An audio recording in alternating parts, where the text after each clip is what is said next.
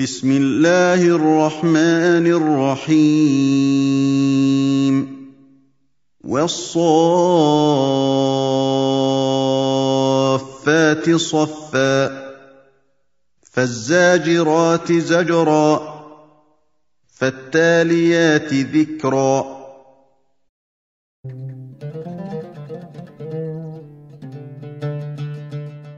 Dans de nombreuses traditions, on parle de la langue des oiseaux.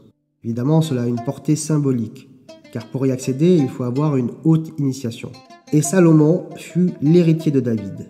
Et il dit Ô homme, nous avons été instruits du langage des oiseaux, et comblés de toutes choses. Dans la légende nordique, Siegfried, quand il bat le dragon, comprend aussitôt le langage des oiseaux. Ce que l'on comprend ici, c'est que la victoire sur le dragon donne l'immortalité. Et cette victoire passe par la communication avec les états supérieurs de l'être. Cette communication, c'est la compréhension de la langue des oiseaux. Oiseaux qui sont toujours, dans les anciennes traditions, les anges. Dans les versets du Coran cités en exergue, Safat signifie oiseau, mais compris comme les anges, el malaika et donc, dans le premier verset, c'est la constitution des hiérarchies célestes ou spirituelles.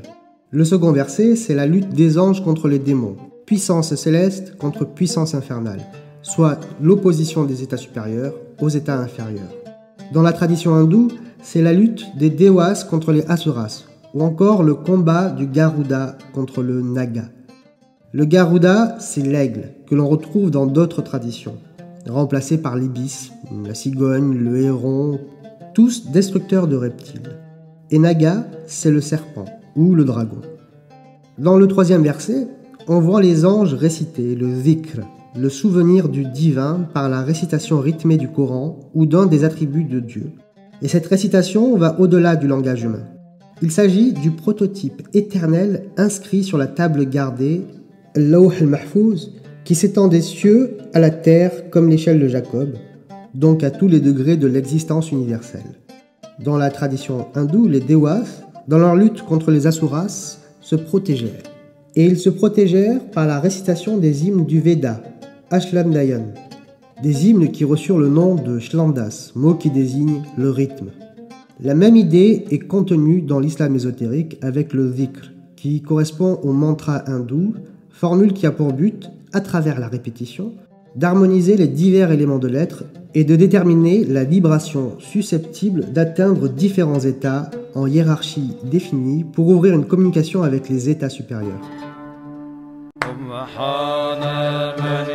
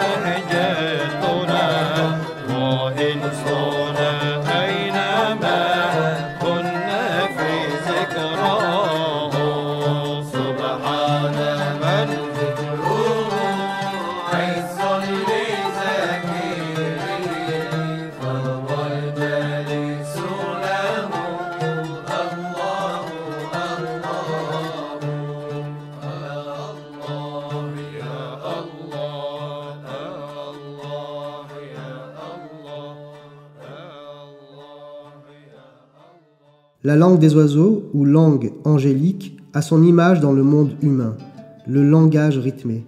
C'est sur la science du rythme que se basent tous les moyens pour entrer en communication avec les états supérieurs. Dans un hadith, il est dit qu'Adam, dans le paradis terrestre, parlait en vers, en langage rythmé, une langue syriaque qui est regardée comme traduisant l'illumination solaire.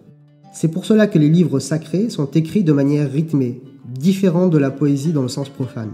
D'ailleurs, la poésie est une émanation de ce langage qui recèle une infime part en elle de ses origines. Dans l'Antiquité occidentale classique, la poésie était appelée langue des dieux. Dieu à entendre comme les dewas, la représentation des états supérieurs. En latin, ces vers étaient appelés carmina, soit son usage dans l'accomplissement des rites. Carmina a le même sens que karma, qui est l'action rituelle, c'est son sens traditionnel. Poésie dérivée du grec, poiein, qui signifie la même chose que la racine sanscrite cri, d'où vient le mot karma, et se retrouve dans le mot latin creare. Le poète de l'Antiquité interprète la langue sacrée dans laquelle transparaît le verbe divin. Le poète, c'est le vates, mot latin qui le caractérise comme une sorte de doué d'une inspiration dans un sens prophétique. Plus tard, par une sorte de dégénérescence, le vates sera le devin, et le carmen, d'où le mot charme en français, un enchantement, soit une opération de basse magie. L'esprit souffle où il veut, quand il veut, et peut toujours revivifier les rites et symboles.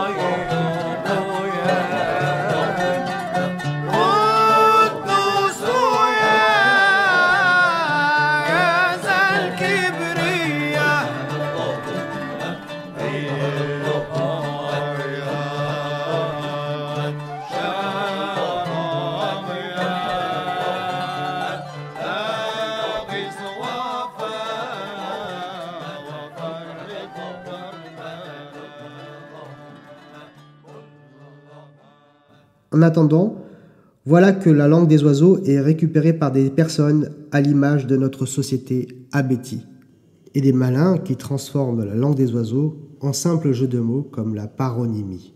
Vous ne savez pas ce qu'est la paronymie? Voici un exemple de personnes qui reprennent à leur compte la langue des oiseaux en la faisant passer pour un simple jeu de mots, et faisant croire à tous, surtout aux sentimentaux, qu'ils percent les secrets de l'univers euh, ta télévision en anglais tell lies to your vision, donc euh, qui ment à ce que tu perçois. Le gouvernement le gouverne qui ment. Tu vois, il y a plein, il y en a plein que tu peux utiliser. Ça s'appelle le langage des oiseaux. C'est très intéressant, mais c'est très intéressant. Je vous recommande de, de, décomposer des mots du quotidien, décomposer des émotions. Ok? Euh, En anglais d'ailleurs, émotion, energy in motion. Donc une émotion, c'est quelque chose qui bouge en toi. C'est l'énergie. Ok? Où est-ce que tu la diriges? Les clés, on va dire, du monde dans lequel nous vivons. Voilà, donc la langue française est pour moi très très importante. Il faut comprendre que cette langue véhicule des mots très particuliers, et là je vais vous donner quelques exemples. Euh, comme par exemple le mot lunette, tout simplement. Euh, moi qui suis porteur de lunettes, j'en ai même fait un petit peu mon, logo, donc euh, un symbole pour qu'on me reconnaisse plus facilement, ces fameuses lunettes. Ben, le mot lunette veut bien dire ce qu'il veut dire, lunette, c'est logique, euh, c'est l'objet qui nous permet de lire plus net. Dans la langue française, on a le verbe ressasser. On l'écoute, mais on ne sait pas qu'on le lit de deux côtés à la fois, de gauche à droite et de droite à gauche. Et que ce qui est ressassé, par exemple, c'est les vagues de la mer. Elles viennent, elles se retirent, elles viennent, c'est ça ressasser. Or, dedans, il y a euh, deux R, deux E, deux S, un A.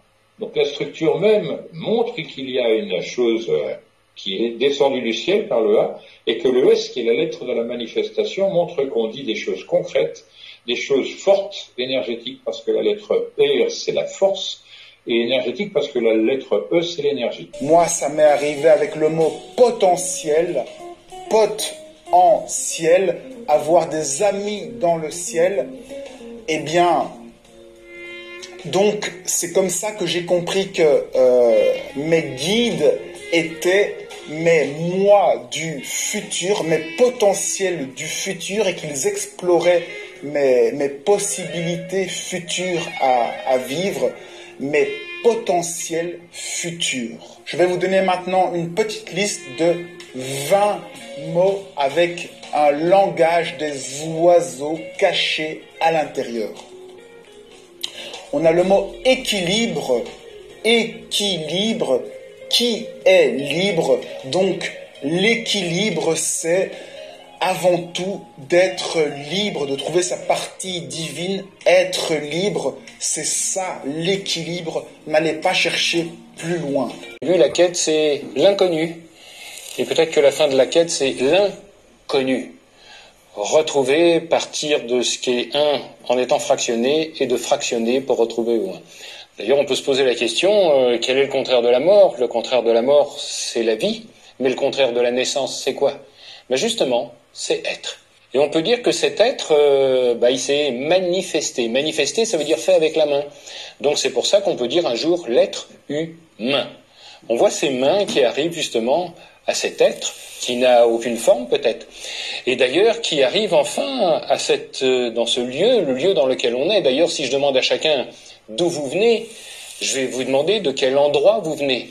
Mais si vous venez d'un endroit, c'est que forcément quelque part il y a un envers. Eh bien, peut-être que notre quête n'est pas la quête de l'endroit, mais la quête de l'envers.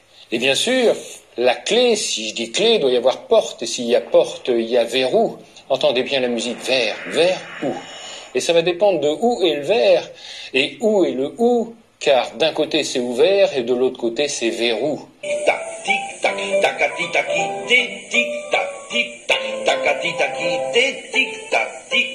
T'es cocu qu'attendu, cuite-toi de cocu, taca taca cuité, et quitter ton quartier, tacati t'a quitté, ta tactique était toc, ta tactique était toc, tacati t'a quitté, on te t'a toqué, troque ton tricot tout crotté, et ta croûte au couteau, quand t'attends d'attaquer, contre ta cocoté, quatre écus tout compté. Ce qui est contraire à l'amour, c'est la haine.